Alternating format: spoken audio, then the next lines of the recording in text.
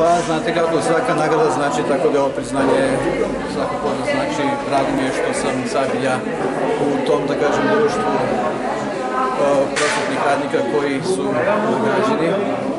Tako da ovom prilikom bih čestitao svim prosvetnim radnicima i poželio bih im i dalje puno uspjeha u radu. To je motivacija svakako za dalji rad nema, nema odostanja, ne, znači radimo i dalje. Ko zna, od 8 godina može se vidimo ponovo.